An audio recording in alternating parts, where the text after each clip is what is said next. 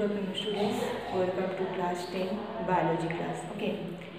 Last video we have learned the absorptions why the need plant need waters and minerals and i have told the following processes. Today i will discuss the first process diffusion. What is diffusion and importance of diffusion in plant? This is very much important. Okay, diffusion, know the definition of diffusion. What is the diffusion process? We already studied in physics subject also. And this is the diffusion. What is diffusion?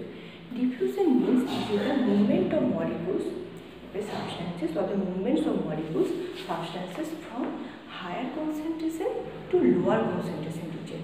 The movements of molecules of a substance, the substances from a higher to lower concentration region this is actually called diffusion.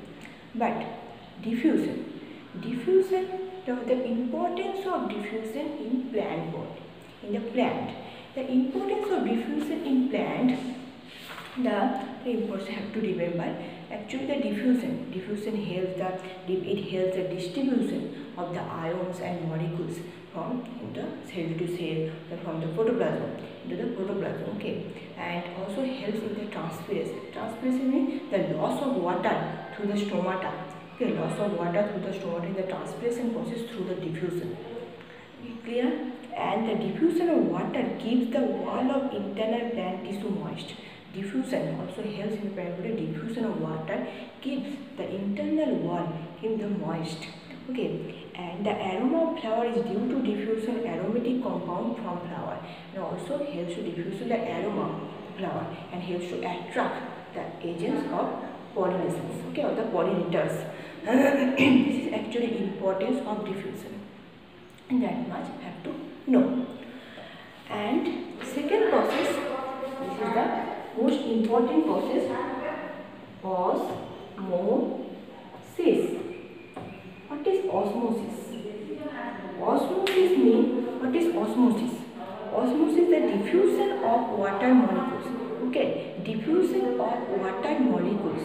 Mind it diffusion of water molecules through semi-permeable membrane from the high concentration region to lower concentration region this process is called osmosis in the osmosis process always needed semi-permeable membrane and the diffusion of water molecules, mainly the solvent.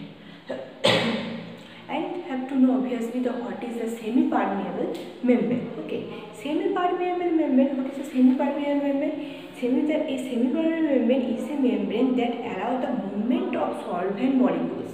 The semi-permeable membrane is one type of membrane that allow the movement of solvent. Solvent means example you know water. The water but it prevents the solute. Solute means the water, salt, sugar.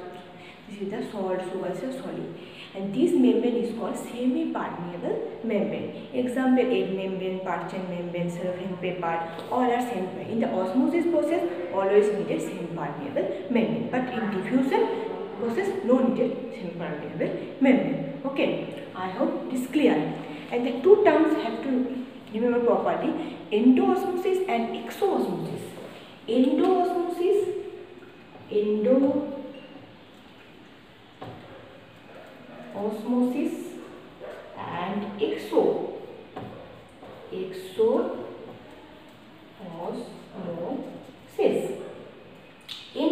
endo means inward and exo means outward. Endoosmosis means the inward to the inward diffusion. Okay this is the endoosmosis endoosmosis suppose you take one living cell. You take one living cell and keep into a hypertonic solution. This keep into a hypotonic solution okay clear take one living cell and keep in hypotonic solution. Hypotonic mind it. Hypotonic solution. Hypotonic solution means what is the hypotonic solution?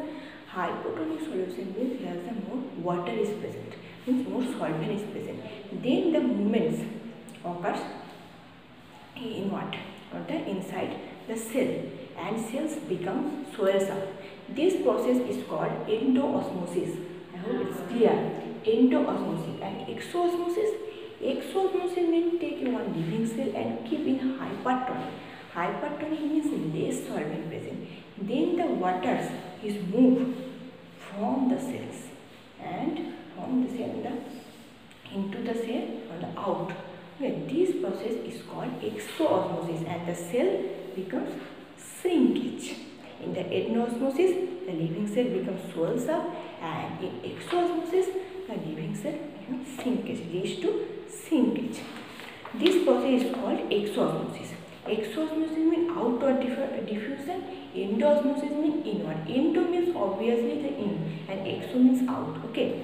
And the exam, this is the endosmosis leads to the swelling up of the cell and exosmosis the sinkage of the cell and through the endosmosis process the plant absorbed or the root absorb the water from the soil in the endosmosis process.